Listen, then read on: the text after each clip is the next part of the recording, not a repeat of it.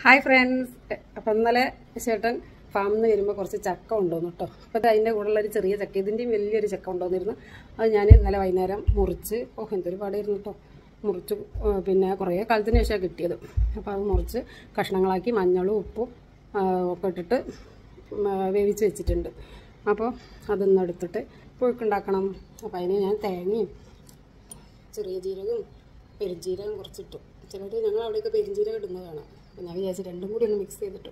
പച്ചമുളകും കുറച്ച് കരിവേപ്പിലയൊക്കെ ഇട്ടിട്ട് ഒന്ന് മിക്സിയിൽ അടിച്ചിട്ട് ചക്കേന്റെ കൂടെ ഇഞ്ചിയും പച്ചമുളകും ജീരകവും കരിവേപ്പിലയൊക്കെ ഈ ഒരു ഇതിൽ ഒന്ന് ചതച്ചാൽ മതി കേട്ടോ നല്ലോണം കുറച്ച് ആ അരപ്പ് കഴുകിയ വെള്ളവും ഇട്ടിട്ട് നല്ലോണം ഒന്ന് ഉടക്കിയ ചക്ക. എന്നിട്ടൊന്ന് വേവിക്കുക. എന്നിട്ട് നല്ലൊരു വറവ് കൂടുക അടിപൊളിയായിട്ടോ.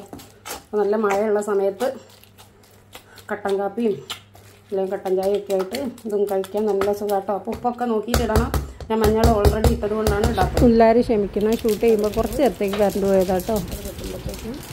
നല്ല മഴ വരുന്നുണ്ട് കേട്ടോ അതുകൊണ്ടാണ് മുളക് ചതച്ചത്. ഉഴുന്ന് ഇട്ടിട്ടുണ്ട് കേട്ടോ ഞാൻ.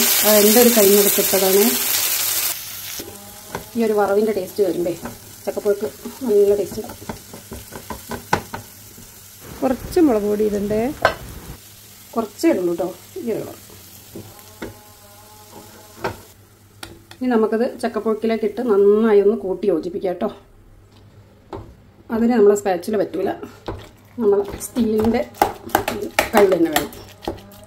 അപ്പം ഞാൻ രണ്ട് കൈ കൊണ്ടൊന്ന് റെഡിയാക്കട്ടെ നമ്മളെ ചക്കപ്പുഴുക്ക് റെഡി ആയിട്ടുണ്ട്. ഇനി ലക്ഷ്മിക്ക് മീൻ വറുത്ത സമയമില്ല. രാവിലെ മുതൽ എടുക്കളയിലാണ് അപ്പം മീൻകറി അപ്പോൾ രണ്ട് കഷ്ണം ലക്ഷ്മിക്ക് പൊരിക്കാനെടുത്ത് മീൻകറിയും. സമയമില്ലാത്തതുകൊണ്ട് തക്കാളി മിക്സിയിലടിച്ച് അത് വെച്ചിട്ടോ. ഉപ്പ് ഇട്ടിട്ടുണ്ട്. എന്നോട് എല്ലാവരും ചോദിക്കും വെജിറ്റേറിയൻ ആണെങ്കിൽ എങ്ങനെയാണ് ഉപ്പൊക്കെ അറിയുന്നത്? അത് നമ്മൾ ഇത്ര വർഷമായില്ലേ? അപ്പം നമുക്കൊരു കൈക്കണക്കിലങ്ങനെ ഇടുക. പക്ഷേ കല്ലുപ്പോയാൽ എനിക്ക് കിട്ടൂല കേട്ടോ. കല്ലുപ്പോയാൽ എനിക്ക് കല്ലുപ്പായ എനിക്ക് ശരിയാവില്ല.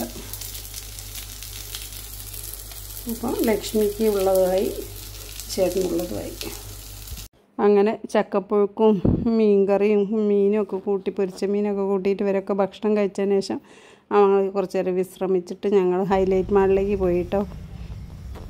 കുറേ കാലമായി വിചാരിക്കുന്ന ഹൈലൈറ്റ് മാളിൽ പോകണമെന്ന് അവിടുത്തെ ഹോം സെന്ററിലൊക്കെ ഒന്ന് പോകണമെന്ന്. അപ്പം എനിക്ക് കുറച്ച് ബാസ്ക്കറ്റൊക്കെ വാങ്ങിക്കാനുണ്ടായിരുന്നു. അപ്പോൾ അതിന് വേണ്ടി പോയതായിരുന്നേ. പക്ഷെ അവിടുത്തെ റഷ് കണ്ടപ്പം അവിടുന്ന് എന്താ പറയുക വരുമ്പോഴേ ചേട്ടൻ പറയുന്നുണ്ടായിരുന്നു ഇങ്ങോട്ട് വരണ്ടില്ലായിരുന്നു എന്ന്. ഫുള്ള് ക്യൂ ആയിട്ട് കാറുകൾ നേരെ തന്നെയായിരുന്നു. പിന്നെ ഒരു സൈഡിൽ കൂടെ പിന്നെ അപ്രോച്ച് റോഡ് റോഡിന്റെ പണി നടക്കുന്നു. അപ്പോൾ അതൊക്കെ കൂടി വരുമ്പേ ചേട്ടൻ ഇങ്ങനെ എന്താ ചെവിയിൽ പിന്നെ മൂട്ട കയറിയ പോലെ ഇങ്ങനെ പറഞ്ഞുകൊണ്ട് ഈ തിരക്കൊക്കെ കണ്ടിട്ട് തന്നെ ഷോപ്പ് ചെയ്യാനുള്ള മൂഡ് തന്നെ പോയി പോയി. പിന്നെ തിരിച്ചു പോവാനും വയ്യ. അങ്ങനെ ഒരു ഇതിലായി. അങ്ങനെ പിന്നെ ഞങ്ങൾ അവിടെ ഇറങ്ങി. വേഗം ഒന്ന് ചുറ്റിക്കറങ്ങി.